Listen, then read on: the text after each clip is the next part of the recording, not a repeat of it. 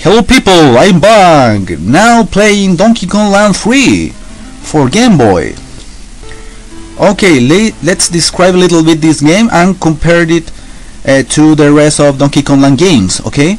Well, as you can see, we we are in presence of a new location, a new overworld map, which is very positive in that in, in, in comparison comparing this game to the previous uh, the previous one, which is uh, Donkey Kong Land 2 you remember uh, in which uh, the, the overworld map and the name of the levels were the same but now you, have a totally different game of course as you can see now the type of levels are repeated like this wharf and also with the mill, the riverbanks, the woods, etc. But again, I am in a different world. I am in a different location, general location. So that is so so positive for this game. Uh, so, uh, in my opinion, I think it's the best Donkey Kong Land game. Um, well, anyway, I have to say, my, my favorite Donkey Kong Country game, remember Country, the SNES versions, is Donkey Kong Land 2, Donkey Kong Country 2, sorry. Uh, well, because of the kind of level, the pirate environment, etc. Lo lots of reasons. But in game in the Game Boy version, the Donkey Kong Land 2 is the worst. Uh, I think because of the reason I mentioned, uh, the repetition of, uh, of, of the location in general and the names. No, nothing new in that sense. But here, although the the kind of level, the type of levels are the same, of course uh, you have to consider these these Donkey Kong Land games are based on the original Donkey Kong Country games for the SNES. Uh, and again, the world is different, the general location is different, the the names of the levels are are new, so that's pretty positive. Uh, that's why I, I, think, in my opinion, this game is the best uh, Donkey Kong Land uh, game of the series. Hmm? Um, well, I, I, suppose you wonder, well, what happened with uh, Donkey Kong Land 1? Well, it's a good game.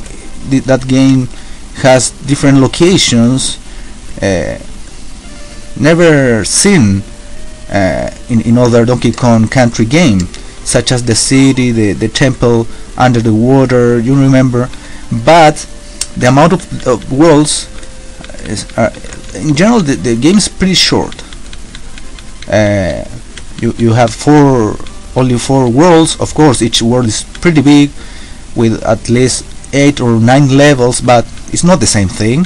I prefer to to to go through at least six or seven different worlds such as the previous game or this one in particular seven different six or seven different worlds new worlds including of course the lost world uh, in this one uh, as well the previous Donkey Kong Land you remember? I, I had to to get 47 Kremkoins in order to to enter the Lost World when I finish the game for the first time. Well, here is the same. Uh, here you have to collect I don't know how many bonus coins, but uh, you have to finish the game for the first time, defeating the, the, this uh, Mad Doctor K. Roolenstein. Okay, Roolenstein, I don't remember the complete name of, the, of, the, of that guy. But well when you defeat that guy you can enter the lost world and complete the 103% um, well coming back to the Donkey Kong Land 1 point uh, it's a good game again but it's not the best because of this uh, few amount of uh, worlds. Also some details such as uh, the, the collect uh, when, when you collect the letters you remember you only collect the letters for for saving the game and not for getting extra lives uh, which is the, the essence the, the original idea of the of this game. So uh, Donkey Kong Land 1 tried to modify something must not be modified in my opinion. I, I don't know I would like to know if you agree with me in that in this uh, in this idea. So uh, write, your comments. All of them will be welcomed. Uh, and so that's it. Well having introduced in a certain way or, or comparing having compared these the these games different versions etc let's focus on the, the gameplay. Well um, another detail I want to to share with you. Um, in comparison to Donkey Kong Land 2 here in every single level you have to get two and only two B coins.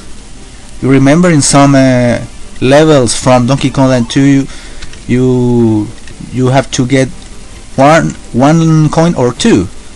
So you always will be sure that Uh, you have to get two. Plus the, the Donkey Kong coin you remember? This is the second one in this level.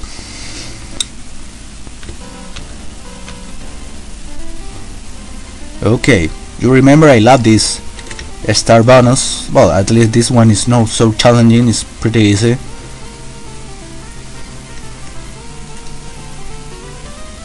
Okay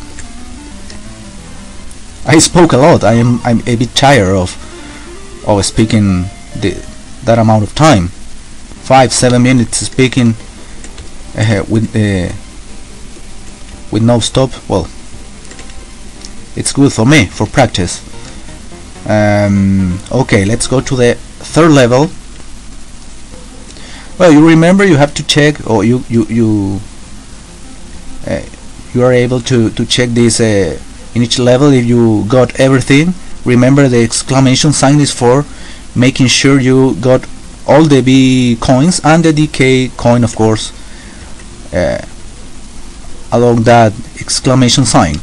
Okay the third, the third level another wharf. Okay. Well I recommend go over uh, uh the, uh, over the surface because the first B barrel is in this area no under the water. You cannot get out from the water in this first half of the level. Okay here I have to defeat the enemies. These ones are quite easy. Okay five. I need one more remember. Two coins per level.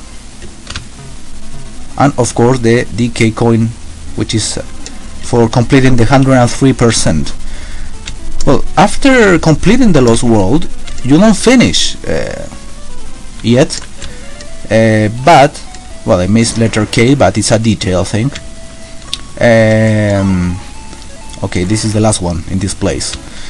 Uh, after completing the Lost World you have to complete 20 I think 20 uh, time attacks. Um, each of them is a will help you to complete the 103% of course these time attacks are from levels you can find throughout the level. So, so, sorry throughout the, the game.